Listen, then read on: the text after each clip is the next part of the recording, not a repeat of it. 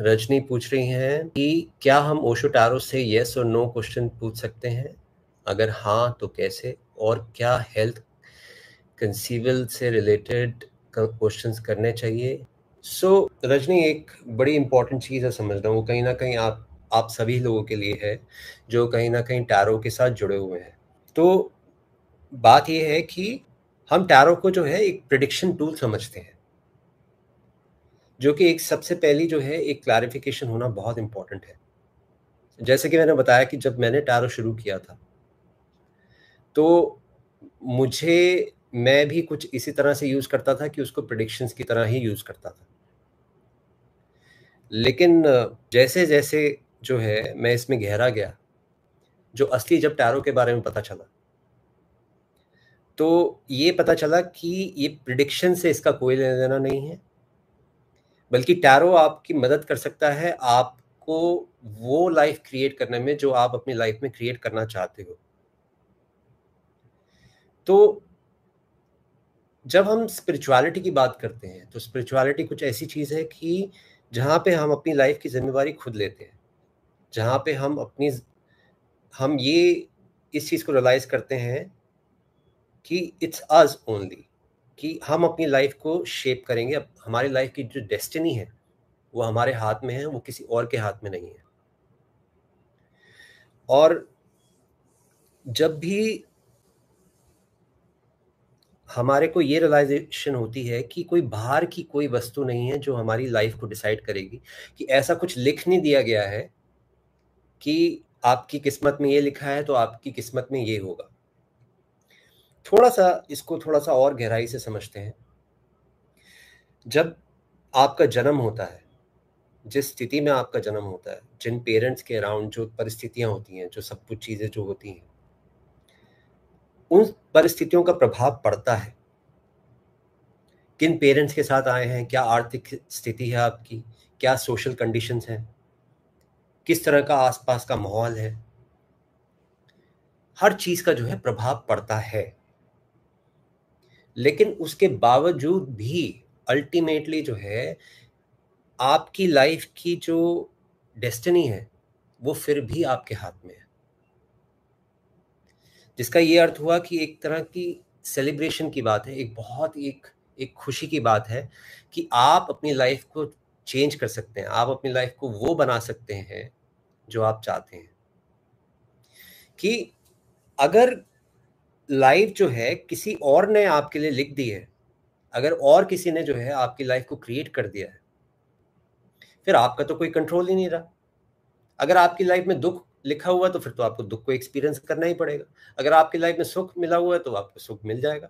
लेकिन जिसका ये अर्थ हुआ कि फिर आपका तो कोई कंट्रोल ही नहीं रहा। तो अब इसके अंदर बस यही बात है इंपॉर्टेंट जो समझना है कि जैसे जैसे हम गहरे जाते हैं तो हमें ये पता चलता है कि टैरो जो है, वो एक सेल्फ ट्रांसफॉर्मेटिव टूल है कि कैसे हम उसको जो है अपनी आध्यात्मिक यात्रा के लिए जो है इस्तेमाल कर सकते हैं।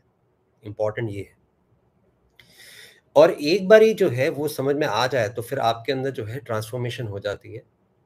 और मैं समझ सकता हूँ रजनी का जो प्रश्न है वो कुछ ऐसा है कि क्योंकि वो और लोगों की जो है वो टैरो रीडिंग करती हैं और जिसके कारण जो है उनको जो प्रश्न है वो सिर्फ़ प्रडिक्शन से रिलेटेड ही प्रश्न आते हैं।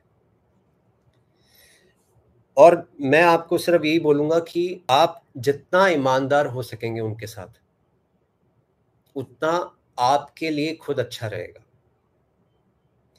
अगर आप शुरू से अगर ऑनेस्ट होके चलेंगे तो चीज़ें जो हैं वो भी आपको ब्लेसिंग देंगे, वो भी आपको धन्यवाद देंगे कि आपने उनको झूठ नहीं बोला, और वो आपके लिए भी अच्छा रहेगा।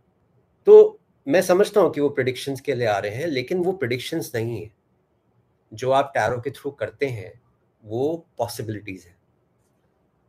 जैसे कि हम वेदर को देख के जो है फोरकास्ट करते हैं। आप देखते हैं, जब हम वेदर के बारे में बोलते हैं, कोई डेफिनेटली नहीं बोल देते कि आज बारिश होगी ही होगी, या आज सूरज निकलेगा। कोई डेफिनेट कुछ नहीं होता। इट्स जस्ट अ फोरकास्ट तो प्रिडिक्शन नहीं है वो वो फोरकास्ट है, वो एक तरह का जो है पॉसिबिलिटीज है, कि आप पॉसिबिलिटीज की बात करते हैं। और पॉसिबिलिटीज गलत भी हो सकती हैं, सही भी हो सकती हैं। पॉसिबिलिटीज कुछ ऐसा है कि अगर कोई व्यक्ति जो है, अगर आज की स्थिति में कोई व्यक्ति जो है बहुत शराब पीता है तो हम एक पॉसिबिलिटी की बात कर सकते हैं भी इस आदमी का लिवर खराब हो जाएगा। सिर्फ़ एक पॉसिबिलिटी है। तो अगर हम ये बोलें कि इसका लिवर खराब होगा ही होगा वो गलत है। क्योंकि ये व्यक्ति कल को बदल सकता है। ये व्यक्ति चाहे तो अपनी लाइफ में एक ट्रांसफॉर्मेशन ला सकता है। इसलिए जब भी हम किसी और के लिए प्रिडिक्शन कर रहे हैं तो प्रिडिक्शन के बजाय उसको बताएँगे कि हम उसकी पॉसिबिलिटीज की बात कर रहे हैं। सो so, जब हम पॉसिबिलिटीज की बात करेंगे तो उसको फिर उस हिसाब से डील करेंगे। और टैरो के अंदर जब हम किसी के लिए जब रीडिंग करते हैं, tarot is just one part. उस व्यक्ति के साथ एक कनेक्ट करना एक एक और बात होती है, क्योंकि जब तक आप उस व्यक्ति के साथ कनेक्ट नहीं करेंगे, एक कनेक्शन आपका नहीं क्रिएट होगा। जब तक आप उसके बारे में ठीक से जानेंगे नहीं, तब तक आप उसकी हेल्प नहीं कर पाएँगे। इसलिए एक मेडिसिन नहीं है कि आपने वही मेडिसिन जो है सबको बांट दी। सबको जो है अलग अलग जो है मेडिसिन देनी पड़ती है आदमी को देखकर।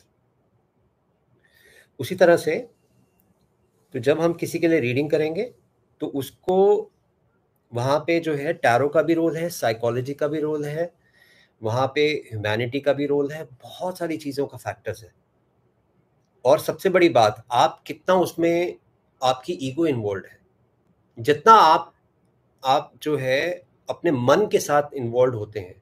मतलब मन से मेरा कहने का मतलब है कि एक प्री डेफिनेट आइडियाज़ के साथ जो है आप जब किसी के साथ इन्वॉल्व हो रहे हैं तो आप उसकी हेल्प नहीं कर पाएँगे। जितने आप स्पॉन्टेनियस होंगे, उतने आप जो है दूसरे की हेल्प कर पाएँगे। और ऑफ़ कोर्स लोग जो है वो सिंपली जो सिर्फ़ प्रिडिक्शंस ही मांग रहे हैं, उनको ज़्यादा तो हम कुछ नहीं बोल सकते। लेकिन उनको कोशिश यही करनी चाहिए उनकी हेल्प करने की जितनी हम कर सकें।